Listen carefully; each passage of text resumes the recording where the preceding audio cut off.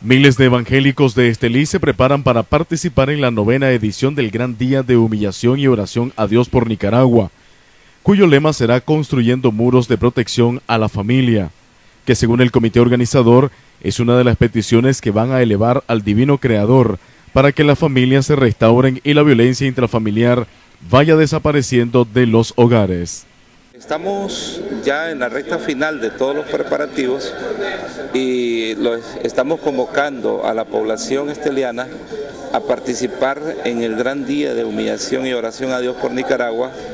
Este año tenemos el lema que es construyendo muros para la protección de la familia, dado que este es una preocupación nuestra la, violencia intrafamiliar, eh, los, los accidentes de tránsito a causa del alcohol, de las drogas, muchachos que quizás necesitan eh, algo más, ¿verdad? Porque quizás sus padres han provisto dinero, han llevado eh, el alimento a su casa, el estudio, pero que quizás necesitan a Dios en su vida.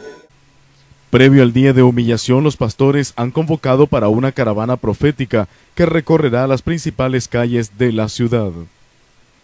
Eh, hemos programado un recorrido profético. Esto consiste en que los pastores están siendo invitados con sus medios, vehículos, moto, carro, todo lo que tenga que ver con, con medios de transporte y a la vez audios donde vamos a ir anunciando la bendición de Dios sobre la ciudad de Estelí. El acto profético estamos abriendo una puerta a la bendición del propio dicho el, día 25 de, enero. El evento está siendo apoyado por la empresa privada y por los miembros de las iglesias evangélicas. Además, la alcaldía municipal está apoyando dicha actividad prestando las instalaciones del estadio de béisbol.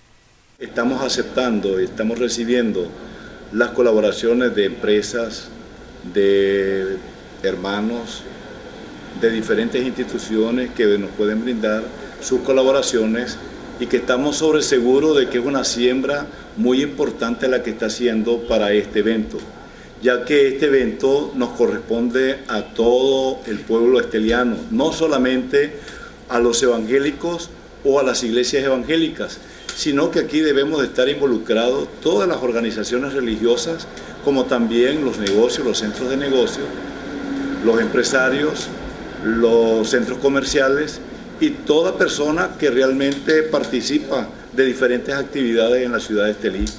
Estamos, debemos de estar involucrado para orar al Altísimo y que en este año se rompan una serie de cadenas que realmente han estado perjudicando y atando a las familias eh, nicaragüenses.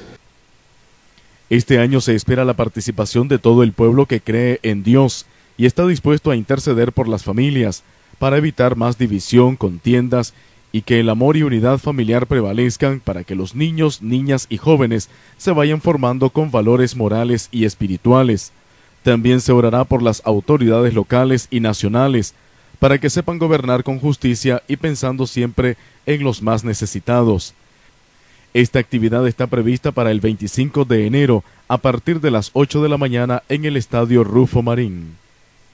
Con imágenes de Lester Leiva para Todo Noticias les informó Marcos Muñoz.